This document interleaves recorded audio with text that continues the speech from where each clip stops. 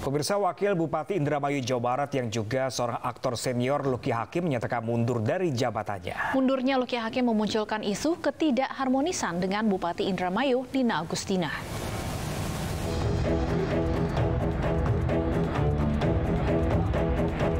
Surat pernyataan pengunduran diri Luki Hakim sebagai Wakil Bupati Indramayu bernomor 132 garis miring 335 Tapem garis miring tertanggal 8 Februari 2023. Surat yang ditujukan kepada DPRD Indramayu dengan tembusan kepada Mendagri dan Bupati Indramayu itu telah diserahkan sendiri oleh Luki ke DPRD Indramayu. Melalui video yang diunggahnya dan viral di media sosial, Luki mengaku tidak malu jika dianggap cengeng dan lalu mengundurkan diri. Sebaliknya, menurut Luki, pejabat seharusnya malu jika tidak bisa bekerja dengan baik karena dibayar dengan uang rakyat.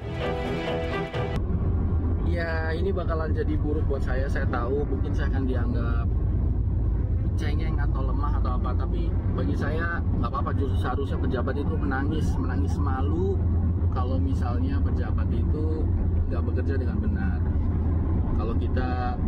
Dibayar oleh uang rakyat, uang rakyat itu amanah dunia akhirat.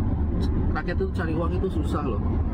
Bekerja dari pagi sampai malam ngalamin panas segala macam. Itu membayar pajak berharap pejabatnya bekerja dengan benar dan kalau misalnya memang ternyata tidak bisa bekerja dengan benar sesuai dengan sumpah jabatan yang terbaik adalah mundur.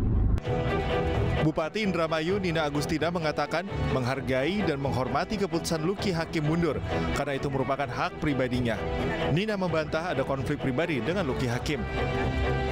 Haknya beliau saat ini Mas Luki ingin mengundurkan diri ya kita hormatin, kita hargain apa keinginan dari Mas Luki Hakim.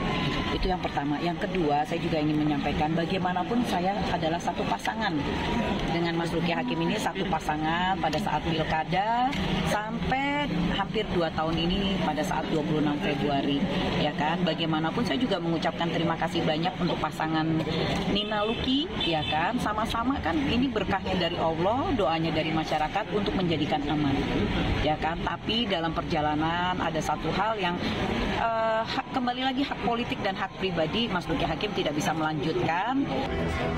Gubernur Jawa Barat Ridwan Kamil buka suara atas pengunduran diri Luki Hakim. Pria yang akrab dipanggil Kang Emil ini mengaku sudah berusaha menghubungi Luki Hakim namun belum ada respon. Coba ya udah nelfon cari eh, ajudan menelpon berkali-kali. Mana?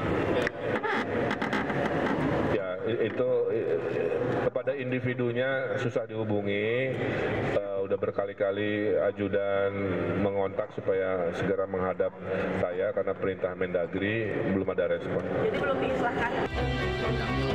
Pernyataan Kang Emil langsung ditanggapi melalui akun Instagram Luki Hakim yang kemudian viral di media sosial. Saya uh, pokoknya insya Allah saya siap siaga Pak uh, meluncur ke Pak Gubernur. Ini sekarang saya di Bandung. Izin Pak, mohon izin, mohon maaf Pak. Saya akan uh, apa mendm nomor handphone saya ke Instagramnya Pak Gubernur dan saya siap arahan berikutnya Pak. Terima kasih. Assalamualaikum warahmatullahi wabarakatuh. Surat pengunduran diri Luki Hakim saat ini masih belum diproses DPRD Indramayu karena masih masa reses hingga 20 Februari. Dari Indramayu, tim Liputan Ainus melaporkan.